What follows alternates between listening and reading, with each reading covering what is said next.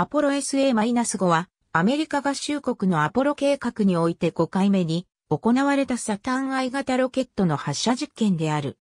SA-5 の発射この実験でサターン I は初めて2段目の S、4ロケットが搭載された完全な状態で発射された。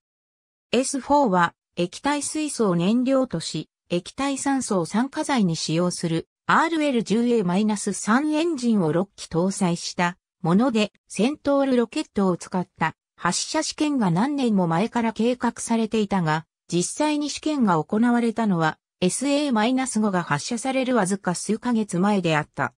またこの時 S4 をケープカナベラルまで輸送したのは、グッピーというあだ名が付けられた、ボーイング377改造のプレグナントグッピー輸送機であった。他の主な変更点は、燃料タンクの増量とエンジンの出力増強であった。また飛行中の姿勢を安定させるために、底部に8枚の翼が取り付けられた。さらに S4 上部には、ロケットの飛行を自動的に制御するためのコンピュータや、ジャイロスコープ、加速度検出機などが設置された。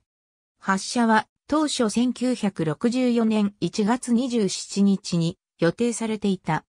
第1弾ロケットに液体酸素を93%まで充填した時点で地上の管制官が続行の指令を出したところ、パイプに詰まりが発生したために酸素の供給が停止してしまった。この故障のために発射は2日間延期された。2日後の再試験の際には、このような問題は発生することはなく、SA-5 は1月29日16時25分1秒、曇り空の中を上昇して行った。機体は6台の望遠鏡で追跡され、13台のカメラで用、ピッチ、ロールなどのあらゆる運動が撮影された。第1弾ロケットと第2弾ロケット分離の様子は機体に搭載された8台のカメラで撮影され、フィルムは本体から分離されて発射地点から 800km 離れた大西洋上で回収された。切り離しは完璧だった。燃え尽きた第1弾は原則用小型ロケットに点火して第2弾から機体を引き離した。第2弾もまた加速用小型ロケットを噴射してエンジン点火のためにタンク内の燃料を底部に押し付けた。すべての手順は完全に行われた。